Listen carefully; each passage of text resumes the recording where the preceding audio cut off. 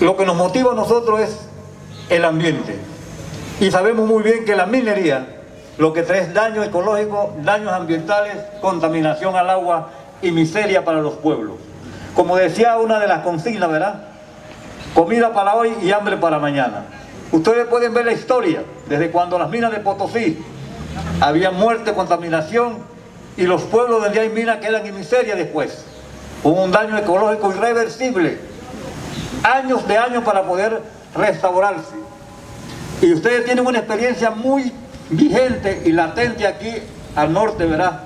Con las minas que tenemos que están explotando. El 2% le dan al Estado, al país, de todo lo que explota, el 2%.